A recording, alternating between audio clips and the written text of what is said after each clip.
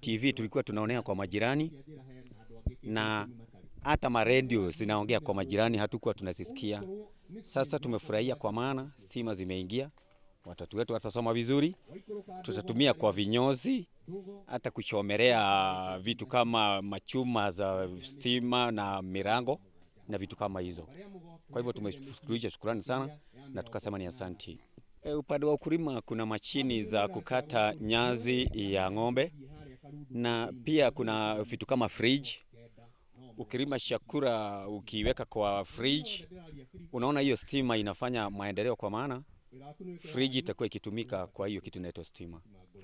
Jina naitwa Peris Jel Kamau. Huku tumefurahi kwa vile tumepata huu mradi wa stima. Tumekuwa na shida mingi kama wazazi ama kama youth. Was, kama wazazi tulikuwa na shida ya watoto wetu wakipatiwa homework, pengine mtu ana mafuta ya taa hawafanyi homework, mafuta yameisha, wengine hawana pesa mpaka ya hiyo kununua mafuta.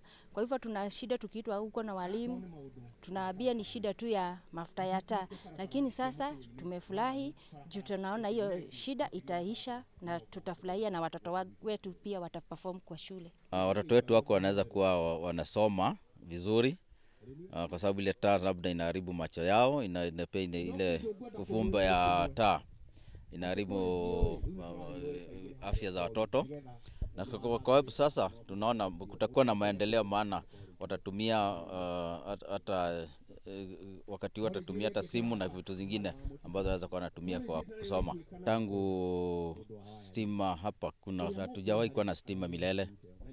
Sasa tunafurahia sana kwa sababu Mheshimiwa Kei ameweza kutuletea stima hapa kwetu, na ni mara ya kwanza kuwa na mwangaza, maana tujakuwa na mwangaza ever ever in our lifetime. Hapa hata charging ya simu, hata kuweka nini, TV ilikuwa ni shida hapa. Watoto wajua hata TV ni nini hapa, maana ma- mara nyingi walikuwa enda kuonea TV kwa, kwa majirani mbalimbali, lakini sio hapa kwa hii village. Uh, upande wa kulima itakuwa inatusaidia kwa sababu tuko na mboo, tuko na ng'ombe, tuko na mbuzi, mara tuna mashini za sharp cutters tutanunua na zitaweza kusaidia hizo mifugo zetu, na tutaweza kuwa hiyo stima itaweza kukatakata hizo mifugo kwa hizo mifugo. We are here to commission, no, to launch uh, electricity project that is going to connect about 80 homes. The project is funded by uh, the government of Kenya in conjunction with the donors, and uh, it extends to such other places like uh, Dogo. Here it's covering 80, 80 houses. In Dogo it's covering about 300 homes. And also in Yedeine in Karundu that covers about 80 homes. And another one in Migombeine in uh, Mukurweini West that covers about 40 homes. So the total cost of the project is about uh, 100 million because uh, this part of the government expansion uh, of power connectivity to ensure that uh, everyone is connected to the national grid.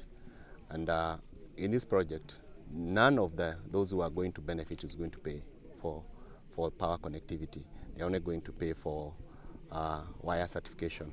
Otherwise, the other expenses are taken care of by the CDF office and of course uh, the World Bank and uh, the government of Kenya with the donor funders.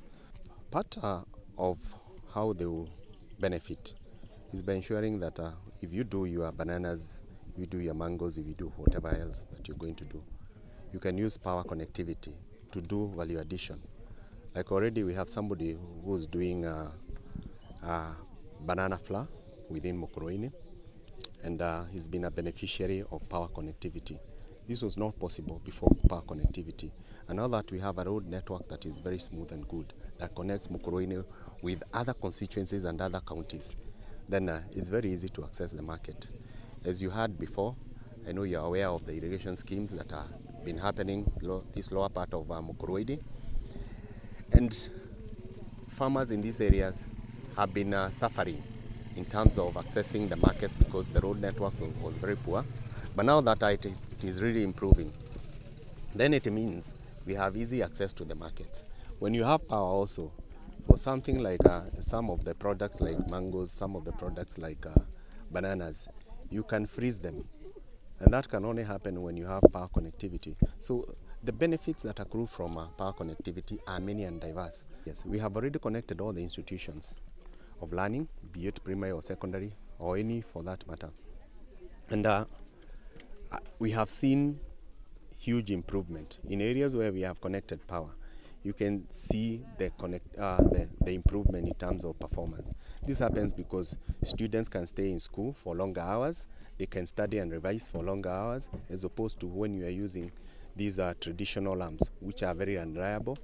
Uh, they are not environmental friendly, they are pollutants, and also they affect uh, the eyesight of those who use them, especially when you are eating. So uh, I'm saying that uh, it has also helped the students in this area, it has helped the, the teachers, and of course, the, the, you can see the benefit in terms of uh, uh, academic improvement. I want to say that uh, last year, Mukurweini KCP performance, it has improved really well. For the last four, four years, we've been uh, gradually progressing to the top. Last year we were number two, all the way from number six where I found it out of uh, eight sub-counties.